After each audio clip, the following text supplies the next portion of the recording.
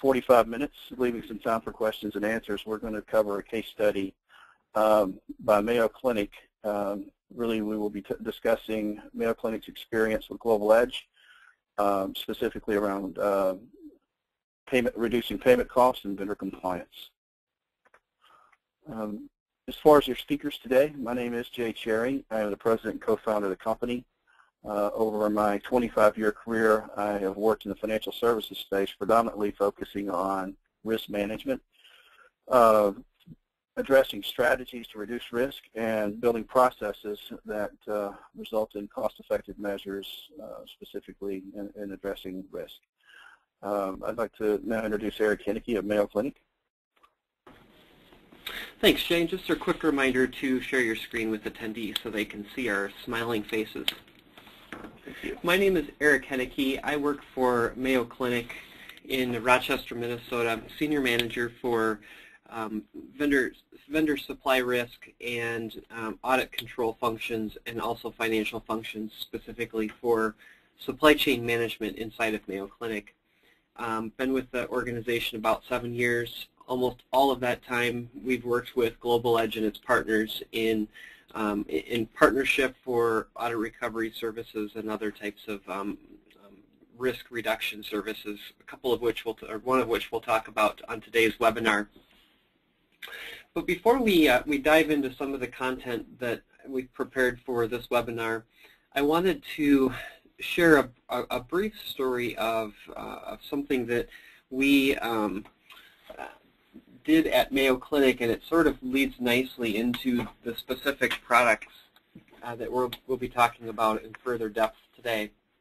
About five or so years ago, um, I it was a couple of years after I'd come into Mayo and, and come into supply chain. Um, I was one of my responsibilities coming in was management of um, audit control risk functions around accounts payable, and, and of course one of those one of those risks that feeds into the accounts payable process is the vendor master.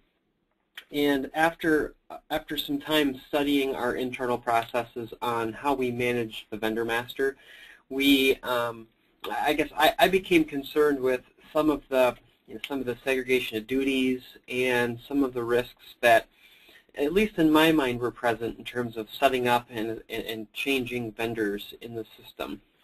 And so one day I approached our supply chain leadership group and I said, I asked the question first, you know, how easy or how hard do you think it would be for me, you know, understanding a little bit about how AP works in the organization and a little bit about how Vendor Master works, for me to set myself up as a vendor and pass through payments and pay myself. You know, and of course it would be not for legitimate products and services, but just you know for for for nothing, just just to see if I could pay myself. And the answer I got was a pretty definitive that wouldn't be possible inside of our current control structure. And I said, well, if that's the case, then we'll you know you let me try to see if I if I can do it. Just you know just to test the controls, if you will. And the response I got was, uh, well, sure, I suppose you could could do that, and it was a bit of a nervous, you know, response. And so, I, between myself and, and one of my my colleagues, we we did just that.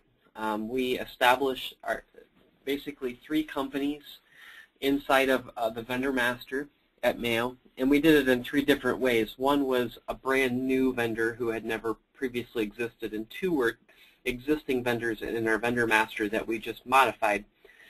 And you know, went about the process of actually setting up a lockbox right down the street from my office and, and went to the bank and set up a business bank account, and so forth. But, you know, really kind of did it front to end. And over the next three months, then passed through the accounts payable and vendoring process 15 invoices for those three companies. And at the end of the testing period, what ended up happening was we received 14 of 15 payments, um, all via check. And the one, the one check or the one payment request that we didn't receive was actually supposed to be a wire. It was for a million dollars. It was the big one of the 15. And the reason that we didn't get that payment was sort of luck, and it was a, a one person who processes the wires for, for supply chain at Mayo, and she was doing the wires that day, noticed the you know the invoice and, and thought it was a bit odd that we were uh, you know that somebody was asking for a million dollar wire payment for a product that wasn't on a purchase order, and you know took 10 seconds to question it, but really um, at the end of the day said to me you know as we were kind of wrapping up the review, it was sort of just stupid luck that I happened to notice I was really busy. It would have been very easy for me to just ignore it. And so um, we ended up with 14 checks, about a quarter million dollars in hand when we were done with that project. So it, it brought to light very quickly some of the gaps that we had in our processes, specifically around vendoring. And that's really where we're headed today with this conversation, in large part, is accounts payable and vendor master, how we manage that risk. Eric, I appreciate your transparency and sharing that story with uh, with the folks on the webinar. Uh, I will tell you, Global Edge has been the audit company for Mayo Clinic since 2005, I believe it is. And uh, over that period, you know, we built a strong relationship. But even following the test that Eric just described, they still went through a, an RFP process to determine how they would address the issues uh, of letting vendors get into the vendor master file that had not properly been vetted. Um, so, so what Mayo did is they did an RFP, and Global Edge uh, uh, responded to that RFP. And because of our background in risk and risk management, I actually began a journey of, of building uh, the suite of products, which, which is uh, VendorLynx for Global Edge that addresses supplier onboarding, regulatory compliance, as well as just vendor management and vendor risk.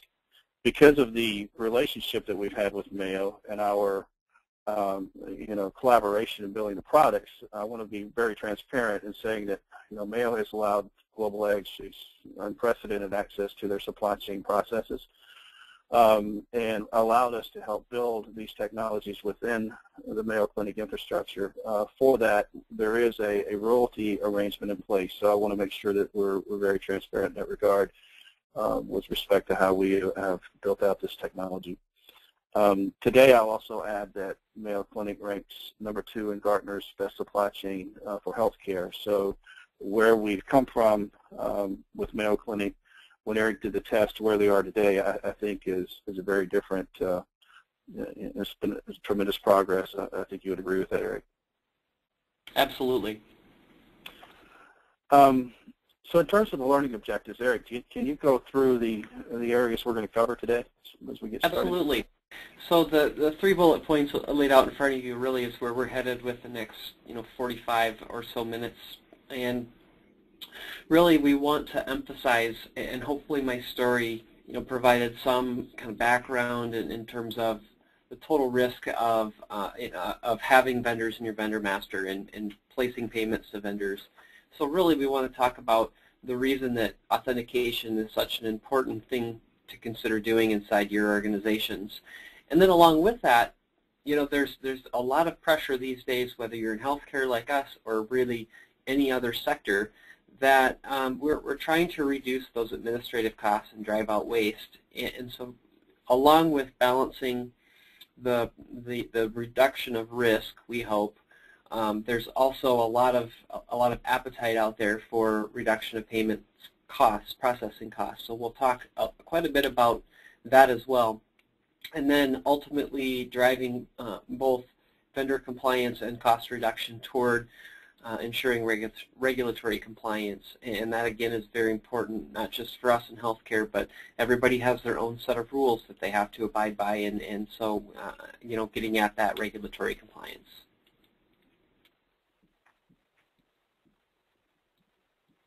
So a little bit about Mayo Clinic, and some, some of you may be familiar with us, others perhaps not.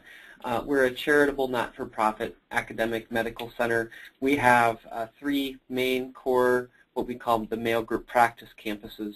Uh, I reside at the flagship in Rochester, Minnesota, but we also have two significant campuses in Scottsdale, Arizona, and Jacksonville, Florida. And then for those um, for those who may be living in the upper Midwest, we also have uh, quite a few hospitals uh, that we call our health systems, which are uh, smaller um, primarily acute care type of hospitals located in the upper Midwest vicinity, southeast Minnesota, um, into Wisconsin and northeast Iowa. We do uh, provide care for over a million patients annually, and uh, most of those are face-to-face, -face, but of course uh, a lot of institutions now are getting into the telemedicine, and, and Mayo is, is um, in that boat as well. About just under 9 billion in revenue, will probably hit 9 this year, uh, and quite a few physicians and scientists, of course, because uh, not only are we a hospital, but also a medical, a medical educational institution, and also um, we get involved in the research component as well. So really a three-pronged approach in terms of practice education and research. Um, and I think we're probably closer to 63, 62,000 employees now. Most of those in Rochester, at least half of those in Rochester, Minnesota, um, and Med's just under 3,500. So just taking a step back, it's kind of as a, um, a, a pass through time, if you will. Um, as I alluded to before, we had a lot of reason to uh, to have interest in some, in at least a vendor authentication type of, of product based upon our our, um, our testing that we had done internally. But there were other types of things when when we went out for an RFP, which Shay had mentioned. When we went out for an RFP, we were seeking not only vendor authentication types of services, but other types of services as well. And most of those services we actually had already.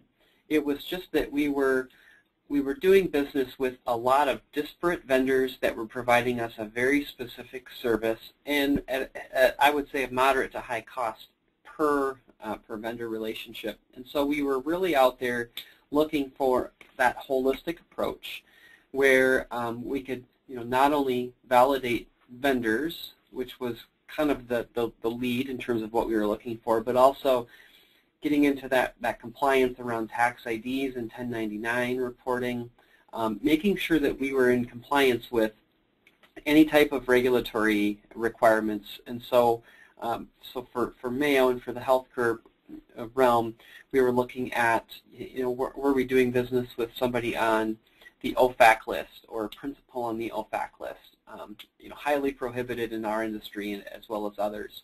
So we really wanted to be sure we were doing the right, we were doing business with the right people. Um, we were looking ag again at the um, reduction of fraud and waste and, and, anything like like that inside of our accounts payable process, and then you know ultimately driving toward those manual processes, which we hoped and assumed would drive down operating costs, and in fact did, um, and reduce uh, any risks of fraud as well. And we also have a small interest in uh, tracking minority uh, minority spend. Uh, it's a, a, board of governors um, initiative, and so we internally wanted to be able to track that spend also. That's great, Eric. Thank you. So given, given the considerations that Mayo had with respect to vendor management, Global Edge uh, you know, we've, we've built a process today which has been in the market for a number of years. But essentially, everything around vendor management again begins with authentication. We uh, ensuring that you're doing business with a legitimate, financially stable organization is key. As Eric alluded to in the beginning, um, if you don't have a process to vet vendors appropriately, you're putting your organization at risk. The, the way the process uh, works today, uh, in, in order to stop uh, a vendor from getting into the vendor master file is Mayo Clinic actually has a link on their website where new vendors, whether it's a solicitation vendor, an RFP vendor, doesn't really matter. They're going to go through the website and they're going to uh, they're going to request to, to be a vendor or a supplier for Mayo. When they make that request, they get a reference ID sent to them in the form of an invitation. And these invitations can be customized based on uh, how the vendor, uh, you know, completes the completes uh, or, or, the path they take uh, through through the website. But what it does, is it begins a four-step, excuse me, a three-step process where the supplier goes into a portal, and starts giving business details, uh, and, and, capturing the things necessary for Global Edge to start authentication to determine are they legitimate or are they not that process itself, as I said, it, it is set up as three three steps. Uh, we ask the supplier to to give us all the business details necessary for us to screen them, so to speak. you know, we're checking things such as financial stability. Um, we're checking things which uh, linking the owner to the business itself. The business details we're also classifying are they public or private, uh, capturing the tax ID. And by capturing that tax ID, we have a process that will go to the IRS and validate that it does in fact match the business. Additionally, we are building um, a, an electronic W-9 within the platform, which of course protects uh, Mayo Clinic from penalties or fines related to 1099s. Uh, we're asking the supplier, are they a nonprofit or are they a uh, what type business from a minority standpoint. When we capture that, we also ask them for the certificate, and, and Global Edge will validate that certificate. Um, again, all these are attempts just to ensure that uh, the supplier is legitimate and the information that they provide is accurate. As the supplier begins to approach the, the end of the registration process, in that invitation, uh, Mayo Clinic has the ability to, to define whether or not they would like to collect uh, banking details. Uh, this is a customizable feature. They can ask for it, they cannot ask for it. But the, the, the objective, when we're looking at a, uh, at a vendor master file, be it Mayo Clinic or any other client, our goal is to to scrutinize that file and, and in terms of how, how are you paying your bills? And is there more a more cost-effective way?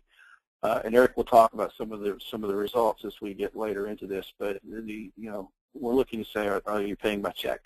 Um, are, do you have vendors that that Global Edge already knows would uh, would be would consider a procurement card, or is there a way to pay them through EFT or some other ACH type uh, transaction um, interestingly enough, about 70% of the suppliers that come to the platform give banking information and banking details to Global Edge. Now that's a strong indication of their willingness to, to take an alternative payment method. Um, it's important because you know we have clients who save as much as 40,000 or more dollars a month just through the collection of the banking information through registration and being able to do away with the costs associated with a check and put those costs, uh, you know, reduce it down to literally pennies to pay in electronic format. Um, this service, uh, by collecting that, it's, it's very powerful and the savings can be uh, relatively high depending on what your uh, transaction volume is. The other thing that we do um, when we go through the authentication process is we collect we collect documents. Uh, I go back to the invitation that we talked about. That invitation has the ability to uh, to define what documents are required um, to be validated. Let's say you want proof of general liability uh, of insurance or you want uh, Secretary of State document uploaded. Um, the client has the ability to put those into the platform uh, and then Global Edge will do the validation of those documents. The, the registration also is, checks risk. So there are 40 checks um, that, there's 42 or so checks that we do that even screens initially, is this supplier legitimate or, or is there some indicator that suggests it's not even a real business? Uh, for example, uh, we get information, this is where, given the test Eric described, the process would have stopped. We, we, we have a risk indicator that tells us this has the business established a footprint, so to speak, and uh, meaning how they transacted publicly in a three-year window of time. Uh, such as how they pay taxes, how they borrow money, how they file documents, such as um, incorporation rules, etc. If we can't find anything, any evidence that they have existed in that three-year window, we put those into a into a risk bucket, and Global Edge sets those uh, uh, vendors even at a more deep level. And that's why you see here that you know we may start requesting information to further validate those companies Eric created a company that was only days old. That company would have had a challenge getting to our platform because clearly many risk indicators would have come back on that on that organization, and it would have been put into a risk bucket for Global Edge to that. Eric, given the things we've covered relative to authentication, is there anything you want to add? Yeah, there is. There's a. I think this this actually this screen is really really key and critical, in that, you know, in in our old world, kind of pre-vendor authentication, and, and I would guess most AP worlds today, you know, the, the, the process of manage, setting up and managing the vendor at the best is usually highly manual with a lot of paper. And the nice thing about the, the way that the, the vendor authentication tool is set up, you now have an automatic place to, uh, to, to archive and manage those documents in, in a one-stop shop. So instead of you know, going to the file cabinet, which while that sounds kind of funny, I still think a lot of shops do, even big ones. We used to before this, before this tool. Um, now it's all right here. And to Jay's point, what, what we can do then is start to assess the true risk of a vendor in looking at what does the external data tell us and how do the, the documents that the vendor provide either make it better or worse. I mean, in some cases it makes it worse. But it at least gives the vendor an opportunity to explain at some level and with, you know, with documentation why it is that risks surface, you know, with the external data that's being provided. And again, it gives you an opportunity as the client then to have those documents available at any point in time. So for example, you know, we collect W-9s for all of our vendors, and that's just a, an internal requirement of ours. The problem with that is where do you put all those paper documents or electronic documents outside of having a product or tool like this that, that you can you know you can do that and put it at the vendor level. So that's been particularly helpful I think to us in that we we now have that archive uh, ability and we don't have to dig around in a file cabinet anymore. Thank you, Eric. In, in addition, uh, you know, I've, already spoken to many of these things, but as we capture the business details, those also are recorded and put into a central vendor location, um, which Global Edge can use to match back against the, the, the vendor master file to ensure it's not a duplicate vendor. And in fact, when the supplier registers into the platform, uh, you, don't want duplication. So one of the checks that we do initially is in the vendor master file, does that vendor already exist? Because obviously, a, a you know a cloudy vendor master file creates all kinds of downstream issues. Yeah, I've talked about some of the things that are listed here. We did the W-9 creation. Um, you know, for the vendor, the vendor benefit is once they've done that, it can be repurposed to uh, against other clients as well. So it's a benefit to the vendor too. Um, the IRS TIN matching, uh, what a lot of folks don't know is that the IRS has about nine different indicators relative to a tax ID. Uh, you know, the simplest is does it match the company, yes or no. If it doesn't, we also get detail back uh, as to why it's a mismatch. Uh, perhaps it doesn't exist at all. Perhaps it, it matches a different company. Uh, all of these things are, you know, have uh, purpose, and, and it drives the way we treat the vendor relative to our requirements for that supplier. We do over 100 federal sanction checks as well. So, um, you, you, know, the, the government, uh, after 9-11, the terrorist attacks, I know a lot of people know about this, but um, you not only need to check the business, but you need to check the owner if they have greater than 5% ownership in the company. What separates our process, uh, we believe at least, is that we are placing a, a supplier on a, on, a, on a batch list where every night we go and we check every one of the lists uh, around the globe, uh, including GSA, the OFAC, OIG, uh, et cetera. Um, but these include international lists. This is the World Banking list, um, you know, the European list, the Canadian list, um, literally around the globe. But we do this every day, and if there is a hit uh, or a potential match, our, our, technology actually alerts Mayo that you have a potential uh, match, and we give them a, a tool within our vendor list platform where they actually can manage that exception, document their path to get it resolved. Uh, if they get a letter of attestation, it's archived within the platform, so if there ever um, any issues that arise from that potential hit, they've got records to, to demonstrate they've managed appropriately. I've already talked about the, the risk factors and the risk checks that are performed. Those checks are um, systemic. We go out to several different data providers and bring in public information on each supplier that registers in the platform. Um, financial stability is one. We're predicting the forward-looking viability of the organization over a 12-month period. Um, if you're doing an RFP, for example, and you have a invitation that's specific to that uh, project, you know, the last thing you want to do is enter a contract with a company that uh, likely may not even be in business in 12 months. So um, just, just some of the things that we're checking. We've talked about uh, minority uh, certificate and certification uh, and then document validation uh, as well. So these are the things that VendorLynx does um, uh, systemically uh, for Mayo Clinic in a proactive fashion. We, we like to think um, uh, for Mayo, we're, we're, we're, somewhat of a gateway. So if you want to do business, you're going to go through you're going to go through this vetting process, and by the time they get to Mayo, Mayo can have confidence that they're doing business with a with a good supplier. Um, interestingly enough, just uh, uh, about two weeks ago, um, Mayo had a supplier that wanted to do business with them, and uh, they went in and put in bad data just to demonstrate, uh, I think, that they could get through, and uh, they were they were stopped.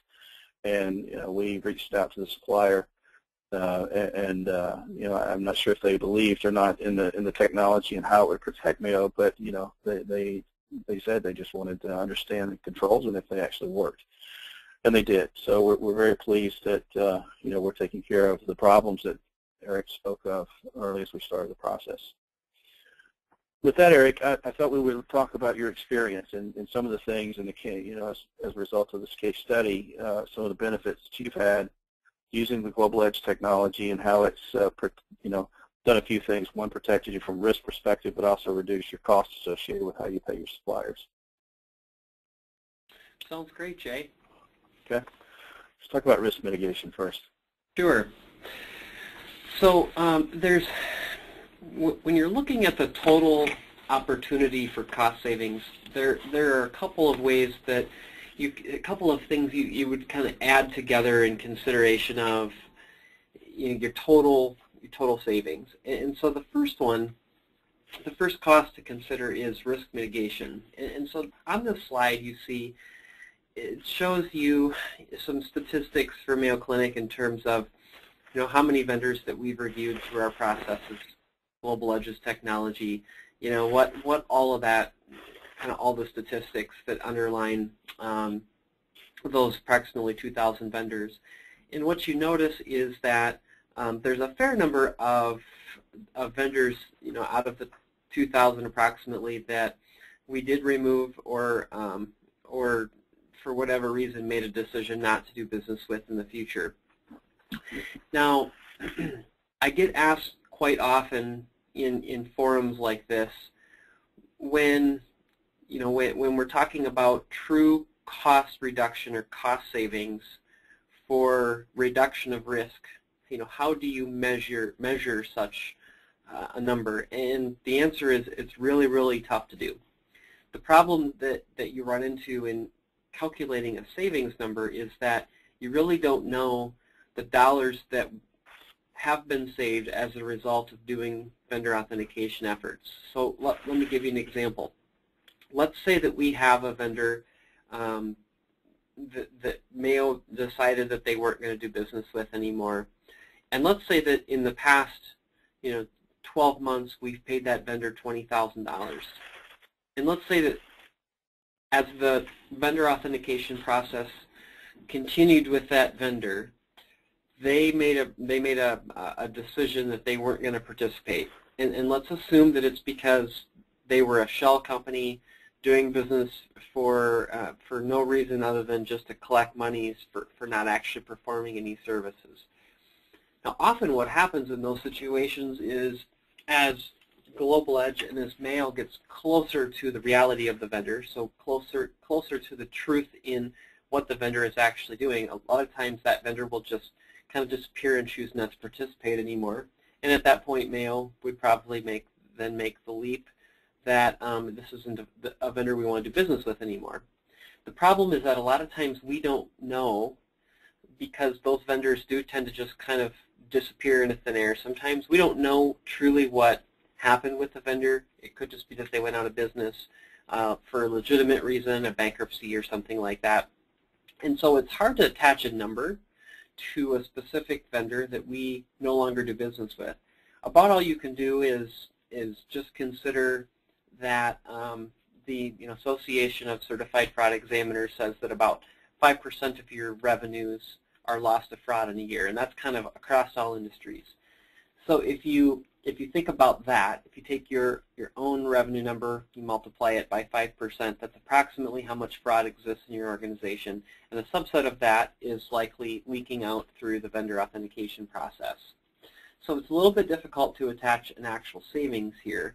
But we know that there are some dollars that are saved in no longer doing business with not only illegitimate vendors, but vendors that pose a risk to us, whether it be a fraud risk, a financial risk, etc. Jay talked about you know, the vendor who um, is participating in an RFP but in six months may not be in business anymore. There's a cost to doing business with that vendor if in fact they do go insolvent in the next six months. And so you have to consider all of those hard and soft savings when you think about a risk mitigation savings number. And one thing I would add to that, Eric, is the 1.6% who have been escalated um, Global Edge sees uh, that number is consistent across any client that we have. So a good rule of thumb is, um, you know, acknowledge and recognize the 5% according to the ACFE. But we can tell you statistically, 1.6%, uh, if you take your vendor file times that number, those are likely the vendors, uh, if you went through a thorough vetting process, that for one reason or another, be it they're fraudulent, out of business, et cetera, you would likely end or suspend the relationship with those suppliers. Um, and generally that works out to be a fairly substantial number.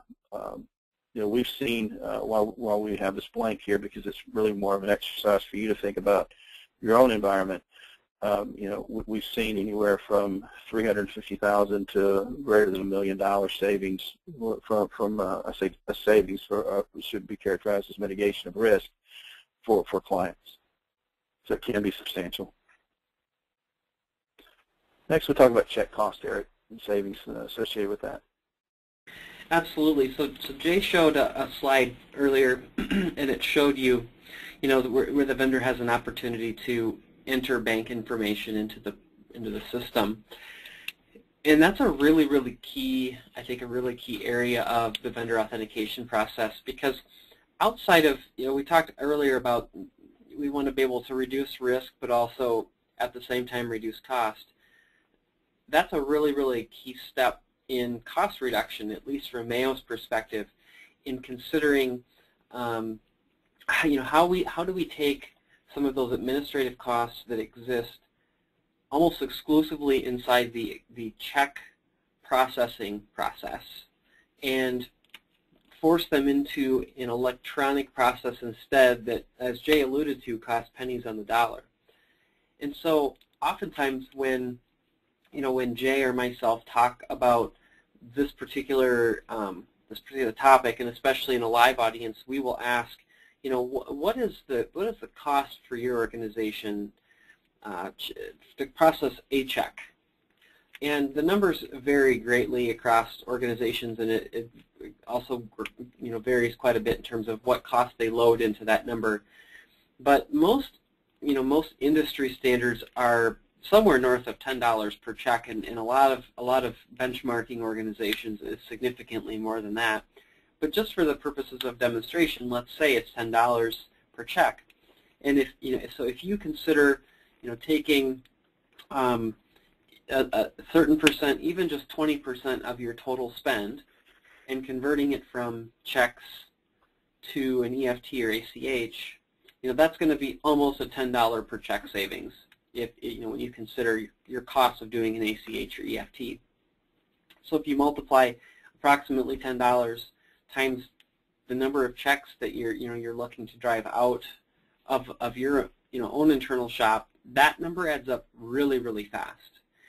And so um, Mayo has been able to recognize you know pretty significant savings in in this bucket, and these aren't sort of squishy soft savings. These are are real actual you know, hard dollar savings that we can prove out. And again, there's some statistics here that um, that we're sharing in terms of you know, how many vendors we have set up with EFT um, and so forth. And the volumes continue to grow.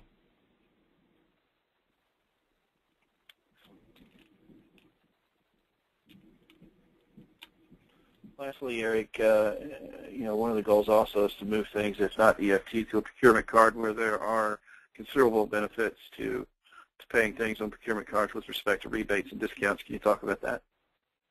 Absolutely. So the final kind of piece here, uh, and, and, again, the, this, this probably falls most closely to check reduction costs as well. Um, the, you know, the, the alternative to doing ACH EFT, if you're trying to reduce those check costs, is you know how do you push some of your spend now to a credit card? Um, and, and, there's a couple of different things, a couple of elements I think that you can consider in terms of where your cost savings can be recognized when um, when you move spend to a credit card. So just before I get there, I'll talk a little bit about kind of Mayo's journey over the past five or so years and how we've been able to increase our card usage uh, internally and also um, reduce both our risk in terms of um, you know, using some of the, um, the products that Global Edge has been developing and also driving down the total FTE dedicated to monitoring those types of activities. And so in 2008, and again, I'm not going to go through this line by line, but in 2008 we had uh, quite a few less cards as opposed to 2013. And we also had almost one full-time person managing the auditing functions. Now we're down to probably 5 to 10% of that total uh, in 2013 thanks to um, some technology that has significantly automated that process for us. And we've not only decreased the total amount of FTE, but we've also gone from a very random spot checking type of, of audit to the audit being very specific around the highest risk activity that we perceive to be on the cards. And, and so that has created a great value to us in being able to reduce our risk and actually looking at, instead of looking at, everything as if it were equal, looking at the high, highest risk behaviors first in determining whether or not we have an issue with a cardholder. Okay, so that's kind of the risk reduction piece, but then what about the savings? So the savings really, I, I believe, is grouped into two, maybe three main components. The first one is, just like the previous slide we talked about, what are the cost savings associated with reducing your, your total number of checks being processed? So again, if you reduce your checks uh, in total and you're pushing it to a card, there's automatic savings recognized there right off the bat. So that's, that's probably the easiest one. The second one that a lot of people forget about is when you push spend to a credit card, typically you're receiving some sort of a, a rebate, a small percentage back um, of your total spend. So let's say that that's even just 1%. That's 1% of your total spend that you're getting back in terms of an in cash inflow uh, coming into the organization. So again, um, it's it's not necessarily cost reduction, but it's certainly a, a cash flow positive to the organization. Uh, so that's to be considered as well. The third one that's a little bit, um, probably less so, but people also commonly forget about is time value of money. And so if you're using credit card products, often your float time is increased and your time value of money is improved internally, um, and so it's freeing up more cash for your organization. So that is kind of the, the, the final, I guess, piece that, we've looked at in terms of uh, actual savings to Mayo. Can you estimate uh, the overall business impact uh, from, from changing your processes? Um, you know, obviously the root of it was to ensure you're not doing business with uh, false or fake vendors, but uh, today, these, do you have an estimate of what the benefits have been to Mayo Clinic? Yeah, and again, um, going back to the, the, the very the first uh, point around risk risk mitigation, oftentimes that number isn't known. But if you add all three, you know, the risk mitigation and the check cost P card program all together, uh, it's probably somewhere in the three to four million dollar range, I would guess, um, and and that may be conservative. Okay. Excellent. That concludes the webinar. Uh, we now can open it up for questions if there are any.